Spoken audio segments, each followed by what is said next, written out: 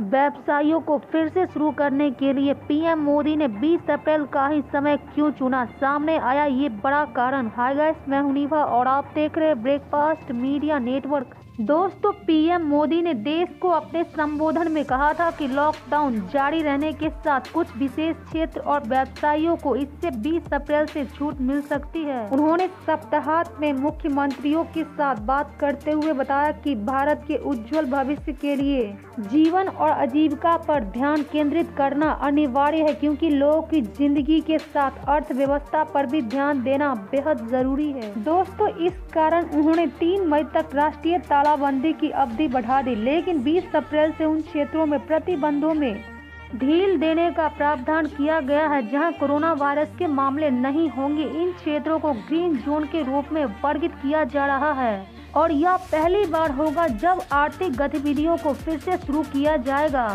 दोस्तों, आप सभी के मन में ये सवाल होंगे कि आखिर पीएम मोदी ने आर्थिक गतिविधियों को शुरू करने के लिए 20 अप्रैल तक का ही समय क्यों मांगा और ये छह दिनों का गैप आखिर किसके लिए? सरकार के एक शीर्ष अधिकारी ने कहा था कि छह दिन का अंतर यह सुनिश्चित करने के लिए तैयार किया गया था कि हर कोई समझने में सक्षम हो कि लॉकडाउन से पहला कदम कैसे उठाया जाए और इसके लिए अच्छी तैयारी की जाए। व्यवसायियों, राज्य सरकार से लेकर जिला प्रशासन सभी को तैयार करने का मौका मिले। वहीं एक अन्य अधिकारी ने कहा कि जब पीएम मोदी ने 24 मार्च की शाम को तालाबंदी की घोषणा की थी तो उन्होंने इसका एडवांस नोटिस नहीं दिया था।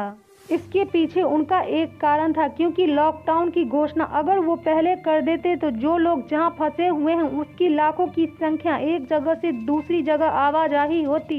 इससे पीएम मोदी का लॉकडाउन का उद्देश्य विफल हो जाता। वहीं एक अन्य अधिकारी ने कहा कि हम भी यही उम्मीद करते हैं कि जिला प्रशासन इस समय का उपयोग सुरक्षित करने के लिए भी करेगी। जहाँ कोरोना वायरस के अधिक मामले हैं, उन क्षेत्रों में तालाबंदी लागू करने के लिए अधिक से अधिक भूमिका निभानी चाहिए। तो दोस्त दोस्तों हमारी यह न्यूज़ आपको कैसी लगी और आप पीएम मोदी के इस आदेश के बारे में क्या कहना चाहेंगे कमेंट करके ज़रूर बताएँ। अगर आप नए विजिटर हैं तो इस चैनल को सब्सक्राइब कर लें और इसी चैनल के साथ बने रहें।